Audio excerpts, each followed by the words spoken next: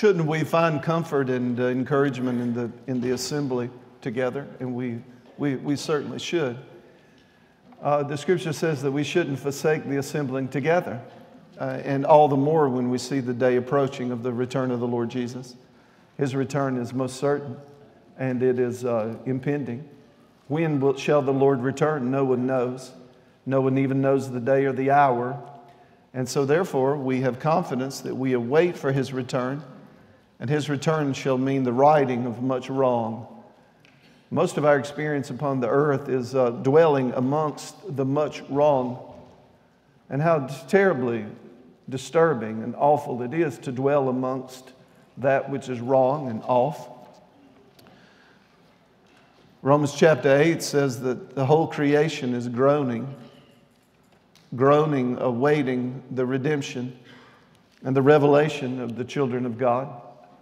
And so as we wait, we find comfort together. And that's why coming to church is so wonderful. Thank God for the ability to have online services because what would have happened to our churches during the last two years ago for two years?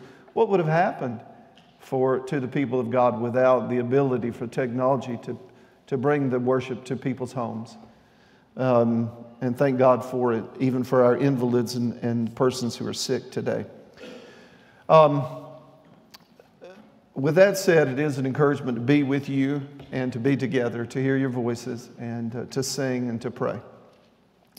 I'd like to, uh, to offer a prayer for those of you who are sick, and many of you are at home and suffering, have been sick, and are still sick.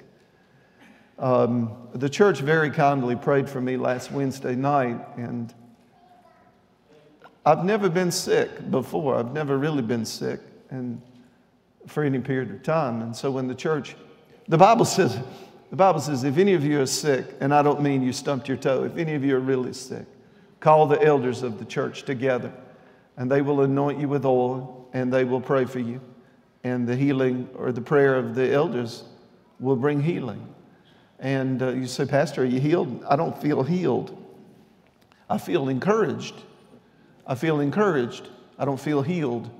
And that's okay because there are many champions of faith in the Bible that suffered physical problems. And the Apostle Paul had some physical problem. And he asked the Lord three times to take it away from him. And the Lord says, My grace is sufficient for you. And so, therefore, I don't necessarily have to feel healed if I feel encouraged. And this gospel is the encouragement of hope eternal and uh, strength for this present existence. Thank you for your care and love for me. And with that in mind, I thought it would be good for us to pause and remember that not everybody was there on Wednesday getting prayed for. Some people were at home sick. And uh, we've got time. Let's take a couple of minutes and pray. You know the names. You know people I don't know. Take some time and pray for them, will you? Quietly, then, we pray.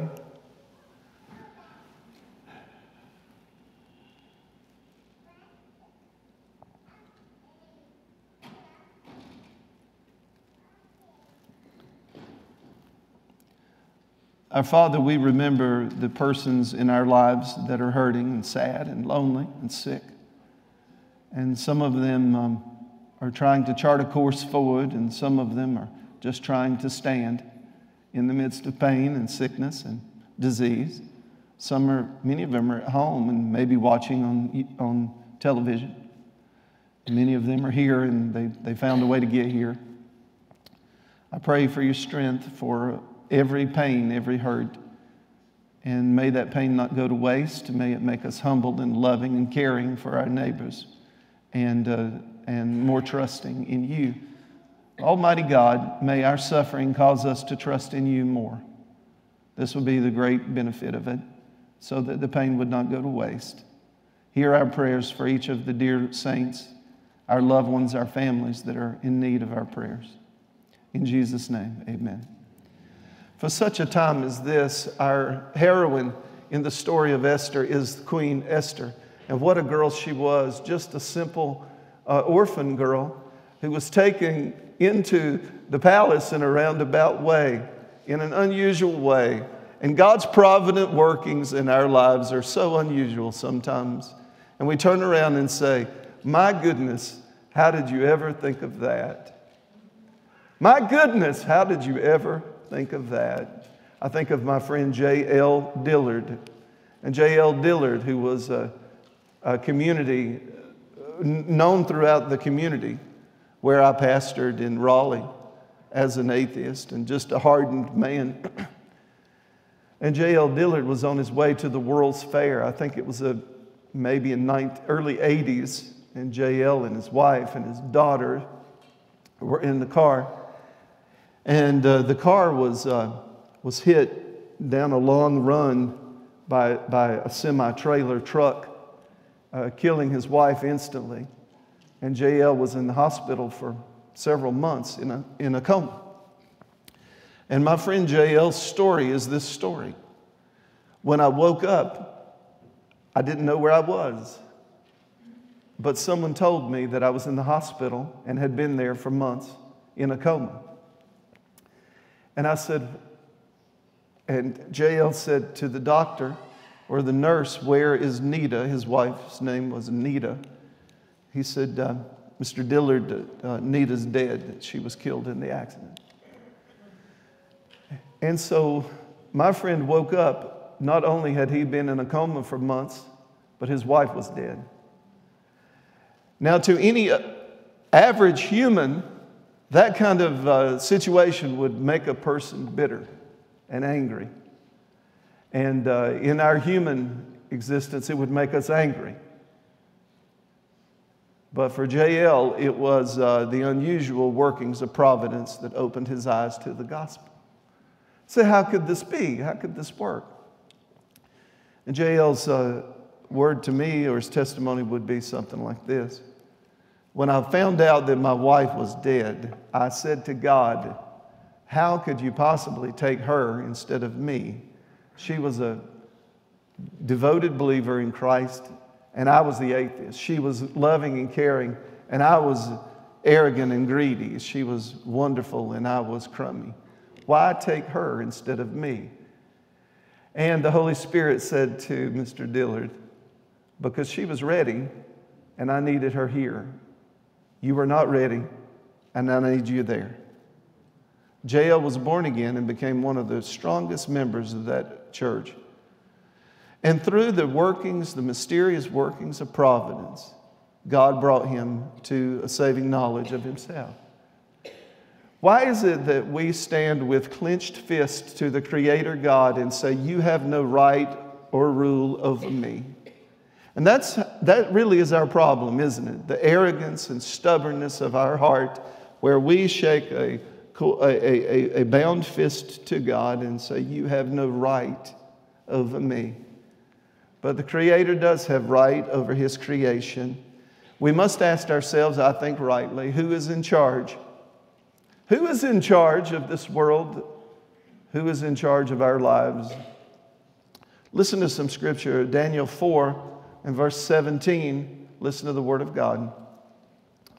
And the Most High, this is our God, the Most High rules the kingdom of men and gives it to whom He will and sets over it the lowliest of men.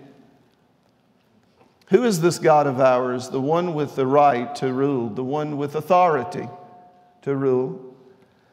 The Most High rules over the kingdom of men and gives it to whom He will and sets over it the lowest of men. God chooses, and this is God's world, it's His to choose. Let's think about our repeated definitions. I know that every week there are new people here, or some people are out, and, and this is the nature of life. What is sovereignty? Let me redefine. Sovereignty, God's right to rule the earth that is His. He's sovereign. This is His world. He has a right to rule and reign over it. You say, Well, I don't like it. I understand that you don't like it. This is the nature of the sin sin in us. We don't like it. Uh, the sinner never likes what God does or what, what is within the purview of God. Who's in charge? It is God. Psalms uh, 75, 6 and 7. For exaltation comes neither from the east, nor from the west, nor from the south. But God is the judge. He puts down one and exalts the other. Whose earth is it? Whose world is this? It is God's. We are participants in it. And why are we here? To bring glory to Him. And why did He make us the way that He made us? To bring glory to Him. How sinful are we? The Bible says that the intentions and heart of the man are only evil continually. You say, Well, I don't feel so sinful. I don't think I'm all that bad a person. In what way have you failed? In the most important way. In the way that God created you special and placed you unique upon the earth. And without you, there's no one like you. And therefore, to fail to be you, representing God in the world where He placed you, is the ultimate, the ultimate act of rebellion. Because there's no one else like you. You say, well, if I don't worship God, someone else will, but not like you. There won't be anybody else like you. And therefore, to reject to worship God in you, your gifting, your voice, your eyes, your ears, your being, your, your, your sphere of influence, to fail to worship God is the ultimate rebellion. The exaltation comes neither from the east or the west, from the south, but God is the judge. He puts down one and exalts another. As you're living and exalting and glorifying God, it is God who promotes you and uh, God who positions you where you are. Where am I? Where you are is in your family, in your neighborhood, in your job place, in your church. You are where you are for a reason, specially, wonderfully made to glorify God. In what way are we sinful and so desperately needy in the way that we have failed to be the thing we were put on earth to be? The image of God in human flesh, Christ living in us, so that everyone would say that's what it means. That's what it means to be human rightly. But we have failed and the intentions of man's heart is only evil continually. How evil? Greed, selfishness, self preservation, self advancement. John 19, 11. And Jesus was talking to uh, the, those persons, uh, arguing with him about the reality of faith. And you could have no power at all against me. He's talking to Pilate. No, it's at the, it's at the time Pilate is about to sentence him. And you could have no power at all against me unless it had been given to you from above. Where does power come from? Does it come from the east or the west or the north or the south? No. Exaltation comes neither from the east or the west or the north or the south, but God is the judge, and God gave power to Pilate to persecute Jesus. And for what purpose? So that our sins, that sin, what sin? That sin of you failing to bear rightly the image of God, that sin. You say, Well, I'm guilty of a lot more than that. Well, so am I, and I'm glad you recognize that because I'm guilty of all the Ten Commandments in one way or another. Whether in deed or in thought, I'm guilty of all of them. And Jesus said, You'd have no power, Pilate. Pilate says, I could crucify you. And he says, eh, Not really but go ahead. Luke 14, 11. For whoever exalts himself will be humbled, and he who humbles himself will be exalted. You say, Pastor, I've been listening to you for months or weeks or whatever, and I'm thinking, what do I need to do to be saved? I would say, first of all, put yourself in a position where you can believe the gospel. And that position is of, is of lowliness. If you exalt yourself, I don't need it. I don't need a Savior. I'm not so bad. Putting yourself in an exalted position brings the wrath of God because it is the very pinnacle of unbelief. For us to say that we have no sin in us when God says, let, it, let God be true and every man be a liar, whosoever exalts himself will be humbled. He who humbles himself will be exalted. In what way does God do his way? Through the humble, the weak, and the meek. Have no hum- humility, you shall have no greatness. And what is the mark of the greatest? The lowest. Be seated at the lowest table. Luke chapter 14. What a beautiful passage, Luke 14. And there's a party going on, and Jesus says, Hey, tell them all to come on in to the party. And what a party! And then someone who's arrogant decides that they are at the party and they're seated in a, in a poor position. They're at the, one of the back tables, they're at the bottom position.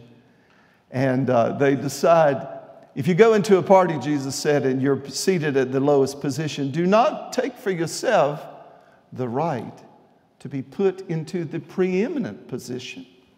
Because Jesus would then, Jesus said, because the host may come to you and say, Oh, you, you arrogant one, oh, you, you arrogant one, be seated lower. And then he may say to the humble one, be seated higher. And uh, for whoever exalts himself will be humbled. That's the context.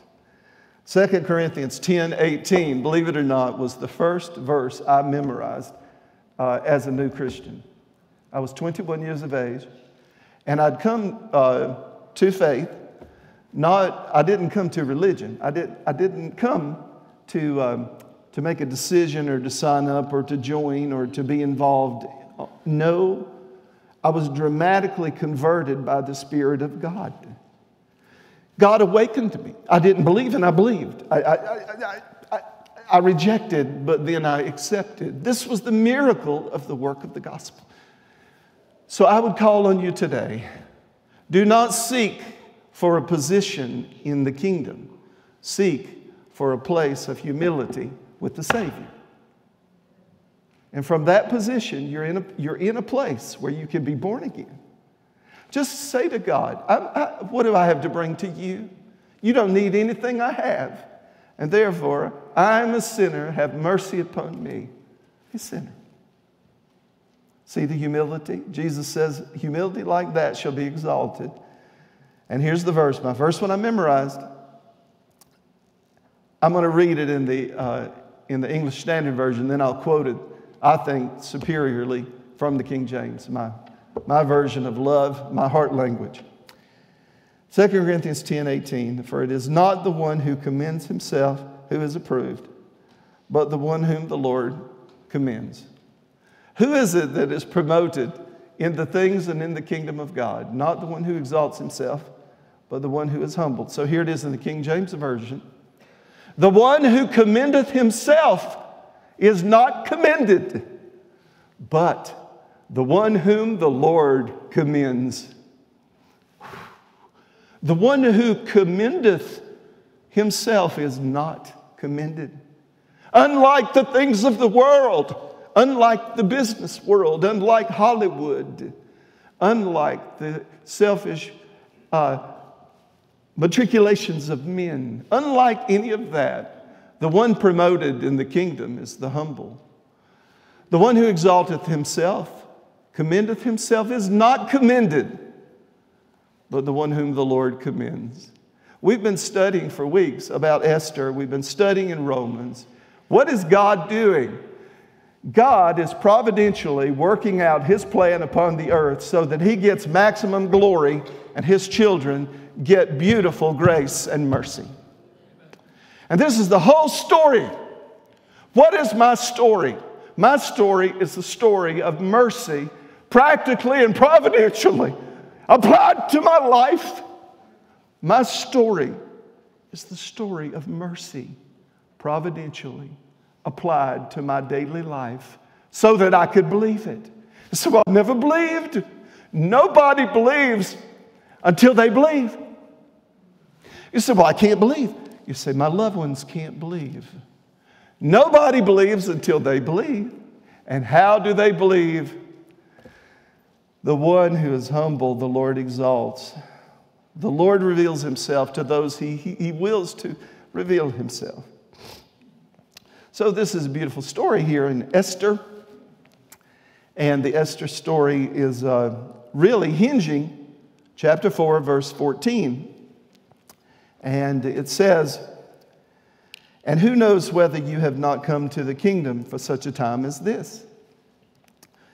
This is Mordecai's words to Esther in the situation she was in. What a terrible situation. Terrible situation. And God said to her, I made you for this. See how humility and confidence go together? She was humble and had to be because of the situation she was in. Humility and confidence go together in spiritual things. Aggression and confidence go together in worldly things. Aggression and confidence go together in worldly things. Humility and confidence go together in spiritual things because we believe that God exalts the humble and he humbles the exalted. This is very different from our natural inclinations as humans.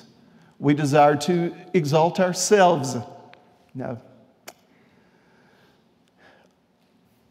Malcolm uh, Muggeridge, here's his quote. He's an author, he was a little bit like Will Rogers for England, although uh, he was an author, speaker, part time philosopher. Every happening, great and small, is a parable whereby God speaks to us, and the art of life is to get the message. If we believe in providence, then we believe that God is at work in our lives to produce His glory and our good. And therefore, we ought very seriously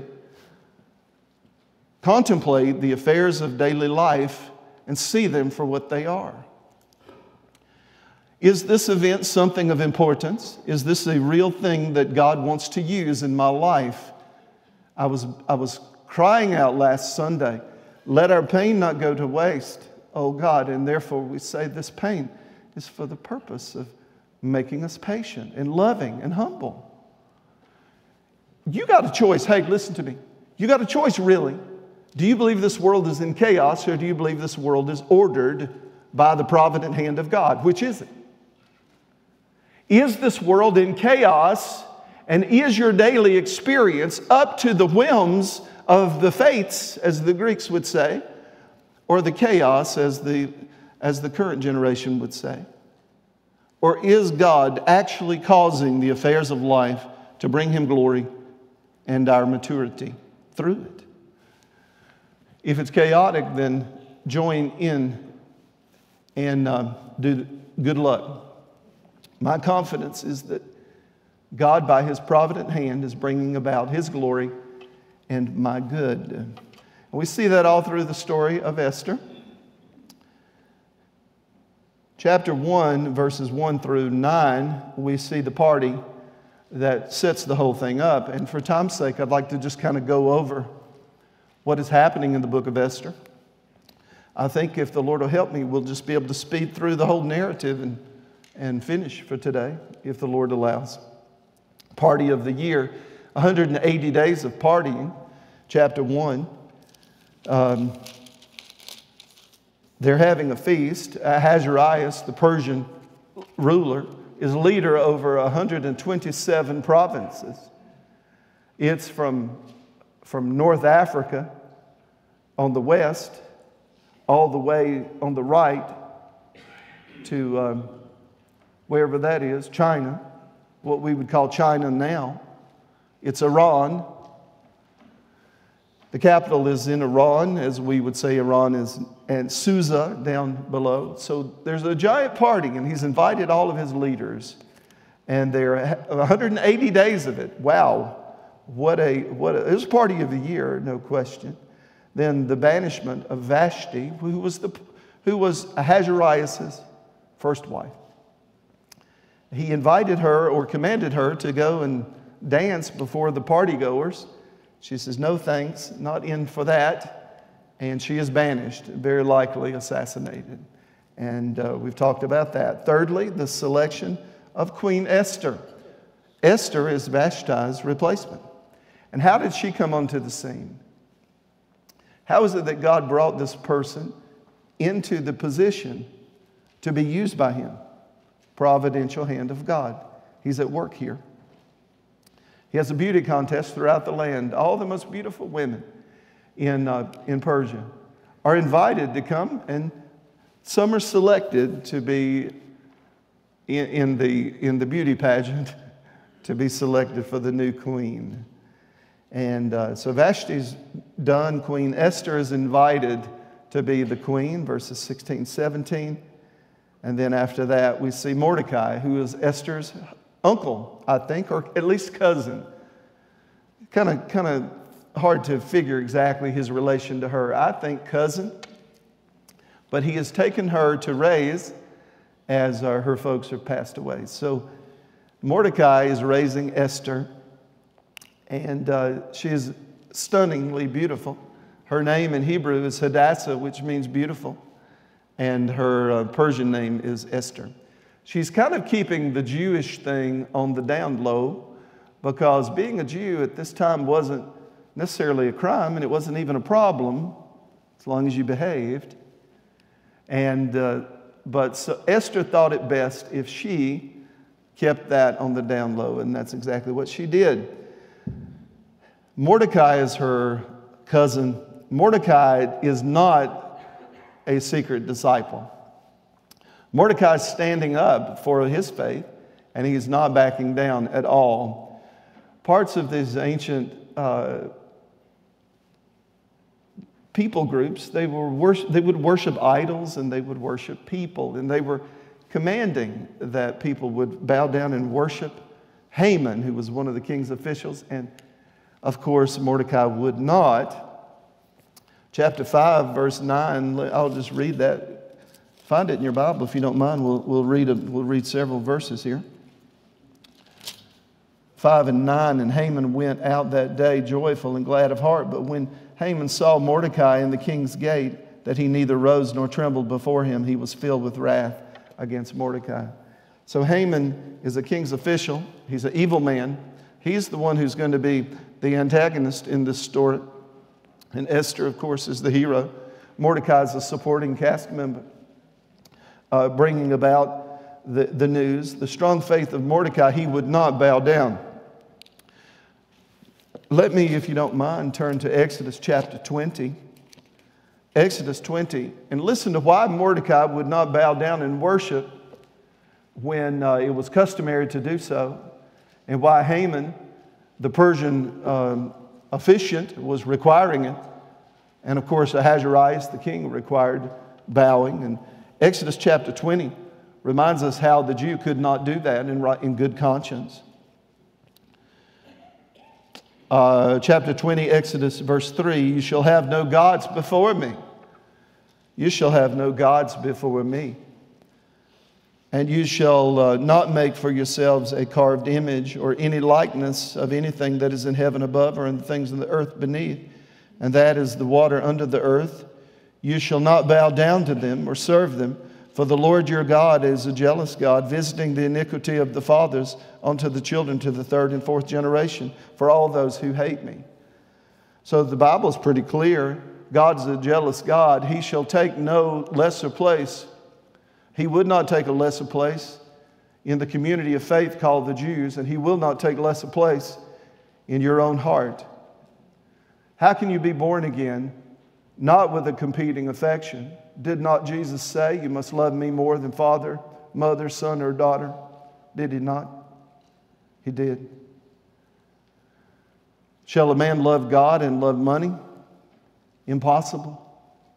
You shall have no competing affection because a competing affection is an idol and you shall not worship it. And Mordecai, he was expressing his faith. I'm not going to bow down to this king's official. And when he did that, it incited fury. His strong faith led to a plot to destroy the Jews. Because Mordecai would not worship Haman, he would not bow down to the king. Mordecai puts the whole nation at risk according to his principles. There was a plot then that followed, chapter 3, verse 13 and 14, and I'll read it for you if you don't mind. Chapter 3, 13 and 14. And letters were sent by couriers to the king's provinces with instructions to destroy, to kill, to annihilate all the Jews, young and old, women and children, in one day, the 13th of the 12th month, which is the month of Adar, and to plunder their goods. A copy of this document was to be issued as a decree in every province as a proclamation to all the peoples to be ready for that day. 13th day, 12th month, uh, the Jews were to be annihilated, and Haman set this up with King Ahasuerus. So, what have we got so far? We've got a king. He seems a little dull to me. King Ahasuerus, he's the king of Persia, no disrespect intended. He seems a little dull. He's a little dull and he, he's not sure about what's. So, anyway, he's doing what people tell him. How many of you know that when you're doing what other people are telling you, unless those other people are highly respected and awfully spiritually deeply rooted in God, then you need to be careful how you listen to the advice of stupid people. Stupid gets what stupid recommends. And stupid people recommending stupid stuff is going to get you stupid outcomes. I'm against stupid outcomes. I don't have time for it. How many of you have time for stupid outcomes? Then don't listen to stupid people. The Word of God says that Haman is trying to kill them. All this is going on. Mordecai won't hear of it. And he stands up against it. And how beautiful. They're trying to destroy the Jews. Haman wants to kill them all. And all of this over a bitter feud, really, between him and one Jew who would not worship him. Isn't that just like we are? That we're so small, we get a little thing bother us, we just can't let it go, can we? Can't seem to let it go. Well, you said, what do you mean? Well, look at, uh, look at verse 13, chapter 5, Esther 5 13. And this is uh, Haman's words. He had just recounted all of the blessings, all of his money, all of his concubines, all of the, all of the good things that he has. He's just been recounting those things um, from verses 9, chapter 5, and, and down. Then you get to verse 13. Yet all of this was worth nothing to me as long as I see Mordecai the Jew sitting at the king's gate. Wow, what a bitter man. All of these blessings from verse 9, he's talking about his wife. He's, he's talking about the splendor of his riches, verse 11. He's talking about all of his sons and the promotion, how he had been promoted uh, to, the king, to the king's office, how he had been advanced as one of the officials. And then he says, Even Queen Esther has invited me to the dinner. And then verse 13. But nothing it meant nothing as long as Mordecai sits at the king's gate. See how bitterness does you? Uh, Mordecai's seated at, he is rebellious. He won't stay, he won't bow. And uh, Haman is so bitter, all of his blessings fog out in the depth of bitterness. This is what bitterness is going to do to you, by the way. Let it go. What are you holding on to that's worth holding on to that makes you miserable? Let it go. Haman could not let it go. And so he decides he's going to kill the Jews. Mordecai's response high emotion, careful strategy. Mordecai's weeping. He is, uh, this is a tradition of the Jews, wearing torn clothing, putting ashes on his body, not bathing, not cutting his hair, not shaving, no, no, uh, he is mourning. And he's also strategizing because he gets the word over to Esther that Esther might save the day. So that's his strategy. I'm going to cry and grieve all I want, and I'm going to try to get Esther, who is on the inside, to have a breakthrough for us. Thank God she does. Next, Esther becomes an unexpected instrument of providence. So, chapter 4, all the way through chapter 7, verse 6, it really unfolds how Esther is used by God to, to save the Jews from death.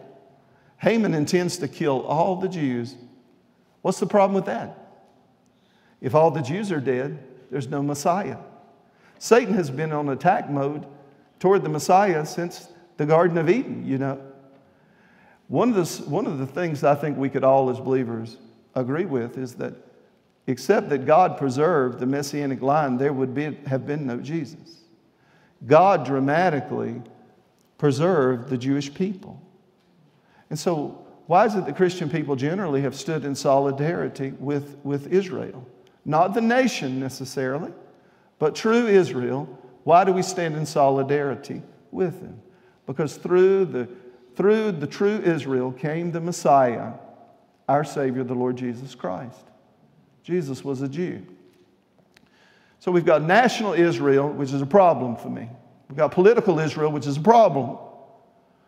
I'm not talking about that. Now, I think often in our, in our politics, we're talking about national Israel. The Bible says national Israel is not the true Israel. Who is the true Israel? Those who believe by faith, like Abraham did. How do I differentiate that? That's my problem. I can't. I can't tell. I can't tell who is national Israel, who is spiritual Israel. Whole nother subject. We'll get to that in Romans chapter 9 through 11, particularly chapter 11. So Esther is recruited to save the day, isn't she? Recruited to save the day by Mordecai. Um, she says, I'm afraid that I'm going to be killed because the king, these ancient peoples, right? They're misogynistic by extreme. And so you couldn't even approach the king without permission or invitation. If you did, you could be killed. But Esther goes and she puts on her uh, beautiful robes and beautiful dresses and her cosmetics, and doubtless she is uh, quite the looker. And she, the king allows her a hearing, he grants her an entrance. And she goes on to say, Can we have a banquet with you and with Haman? Haman is the, is the protagonist, the bad man. Can I have a dinner with you, king, and uh, with Haman? And uh, they make that arrangement. And so they do. They go to dinner. And that's what's happening in chapters, the end of four through seven. She becomes this unexpected instrument of providence, and how wonderful. God chose an orphan girl to do his great work. Listen to this passage, and uh, I'll, I'll conclude with this. 1 Corinthians 1 27 through 29 talking about a very simple orphan girl promoted. Who gets promoted? The ones whom the Lord promotes. That's who gets promoted. For consider your calling, brothers, not that not many of you were wise according to worldly standard. Not many were powerful. Not many were noble of birth. But God chose what is foolish in the world to shame the wise. God chose what is weak in the world to shame the strong. God chose what is low and despised in the world, even things that are not, to bring to nothing the things that are, so that no human being might boast in the presence of God. Verse 28, isn't that wonderful? God chose the low and the despised. He chose to use the nots to put to shame the R's. That's why you cannot look at another person and say to them, You are lesser than because you come from modest means. You cannot look at another person and say, You are not as important as I am because you don't have an important job or a good education. You cannot look at another human and say, Because my family pedigree is more prominent than yours, then you're lesser than. My goodness, look at what the Bible says. God on purpose chooses the lowly among us. He chooses the nots not very important, not very famous, not very good looking, not very prominent, not very wealthy. God chooses the nots to put to shame the R's because God plus nothing is everything. Why is it that the nots are to be preferred over the R's? Because God plus nothing is everything, and everything minus God is nothing then praise God that people like orphan girls can be positioned in the king's palace to carry out the Lord's bidding and save the people. Esther becomes an important instrument of providence. God wins again. Last point. Chapter 7 through the end of the chapter, I asked you to read it. God wins again. God has a 100% batting average. I guess we should say 1,000 if we're talking about baseball. He never swings and misses. He never fails. His slugging percentage is perfection. Every time God sets his hand to do anything, it is successful. This is the rule and reign of our God. And good fortune does not come from the east to west, north to south. It comes from the hand of the good God who, in his own providential way, decides who to promote and who to humble. Therefore, if God decides who to promote and who to humble, wouldn't it be uh, pretty important that we be on the right side of our Creator God? If we say that God has given us this wonderful promise that all things work together for good to those who love God and are called according to his purpose, who gets that promise? Things working together for good. Who gets that? The ones who love God and the ones who are called according to his purpose. The others of us don't get that. You say, well, is God unfair in giving out his blessings? Are you unfair in distributing your blessings? We give each other the right to distribute our blessings, but we don't give the right to God to distribute His. Therefore, what must we do? Cry out to God, Be merciful to me, a sinner. Christ, who died on the cross, made possible our recovery. Recovery of what? Everything broken. You don't, do you know how broken things are? Is your mind right? Is your body right? Do you anticipate living a right old age? How do you know you will? Do you know the day of your death? You didn't know the date of your birth. What of this God of yours? Why do you push him away? And wouldn't it be right of you to align yourself with the God who made you? Because he's promised if you love him and are called for his purposes, things will work out for good. How about you might be that person of instrumentality in the provident flow of God's handiwork on the earth? It was Esther, wasn't it? Placed, prepared.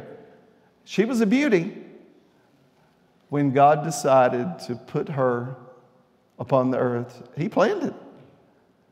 Everything necessary was given to her, and then every circumstance was arranged for her and then all the people necessary were aligned around her. And then the wisdom she needed was advanced to her from Mordecai. Oh God, how great you are to cause, according to your will, the affairs of my life so that I might enjoy your good favor. As I humble myself and you lift me up and you're doing through me and you the will of God. Why do we resist? because we are so afraid that following Jesus might cost us more than we want to pay. I remember that because I, I, was saved as an adult. I was 21, right? I wasn't a kid. And I kept thinking, oh, if, if, if I dedicate myself to Jesus, what's it going to mean for me? Is it going to cost me more than I want to pay? I was afraid, afraid, afraid of that for a long time. How about you? Are you afraid of that? Well, my testimony, 30 some years of it, is that whatever he asked me to pay, he provided that I might give it joyously. I'm not a man suffering. I'm a man exalting and rejoicing because of my walk with Jesus Christ. I highly commend him to you. Believe on the name of the Lord Jesus. How do I get involved in this? How do I align myself with the flow of God's work on the earth? He made you already. Can we agree to that? Here you are. He made you already. He's speaking to your heart about believing in Jesus, who is God's choice of how we can have our sins forgiven. He's already done all of this. What about for you? What must you do? Believe. You say, but I don't, I don't know if I can believe. Do you believe? Believing is not some kind of weird experience, it is a determination of conscious awareness I believe that Christ died for me. That's all that's required. What else need we to do to be saved? Believe on the name of the Lord Jesus, and you will be saved. I pray that you will. Don't waste any more time arguing with God. Your arms are too short to box with God. Don't box with Him. Humble yourself before the mighty hand of God, and He will lift you up. Let's pray together. Heavenly Father, we are a people of great need, and our need is because we have a clear awareness of our problem. Our problem is that we're sinners. We're selfish, self absorbed, only concerned with self. And yet we know deep inside of our consciousness that you're our God. You created us for greatness, for good, for, to do good, to love well, to worship you, and to care for our neighbor. But we're not so faithful at that. I pray, oh God, that everyone listening would, would search their own hearts about whether they believe the gospel or not. Whether they, are, whether they live like Esther, where they could step forward and do something dramatic. I pray, oh God, that for everyone here, if there's anyone that doesn't know you as their Savior, I pray that you would help them to know you and to cast their whole life upon you and to do so without regret because we trust that you will provide. In Jesus' name we pray. Amen.